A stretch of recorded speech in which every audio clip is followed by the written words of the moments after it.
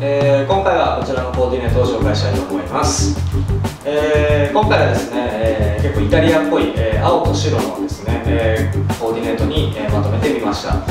えもう青系のジャケットにブルーのジーンズに、えスニーカーもブルー系ですね。で T シャツだけ白にしてるんですけども、え結構イタリアのおしゃれな方たちの夏のファッションで青と白を組み合わせる格好が多いので、まあ、それに合わせてベルトもですね、えー、パイソンレザーの、えー、クワトロガッティのですね、えー、ブルーのベルトにしてみました。結構色物のベルトでも、えー、青系のベルトはですね、えー、結構取り入れやすいというか初めての方でも全然取り入れやすいと思いますので、えー、そういった方にもですね、まあ、黒とか茶色とか、えグレーとかはですね割とスタンダードな色なのでまあ、そういった中に変化が欲しい方はぜひこのブルーのベルトはもうジーンズにも合いますし、え、まあ、白いデニムなんかにものでぜひよかったら、えー、使ってみてください。あ